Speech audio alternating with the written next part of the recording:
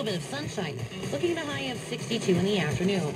A little cooler for Monday, but dry with plenty of sunshine, high of 59 degrees. I'm AccuWeather meteorologist Courtney Spamer for Coast 93.1. If you have someone in your family who's a professional driver and not getting the pay and benefits they deserve, tell them about Superior Carriers. My name is Joe. I've been with Superior Carriers for a little better than eight years. What I really like about working here is I get a big company backing me up.